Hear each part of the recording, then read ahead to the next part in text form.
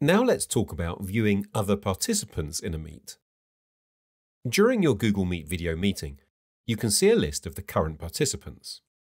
Click the Show Everyone button to expand the side panel and see everyone's names and Google account profile photos.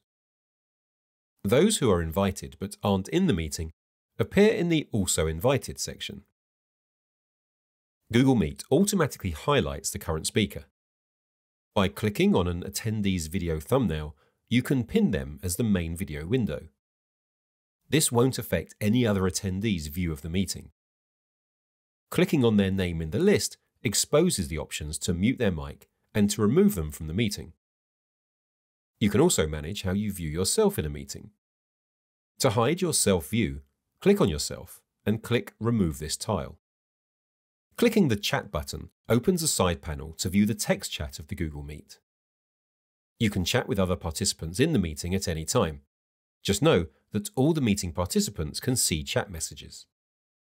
If the Google Meet is recorded, the chat is also saved in a text file in Drive. You can use the chat in Google Meet to share links to Google Docs, websites, or other resources during the video meeting. However, the chat feature provided in a meeting is distinct from the Google Chat application. As a result, chats in Meet are temporary and only last for the duration of the meeting. Also, users who join the meeting late can't see the previous chat history.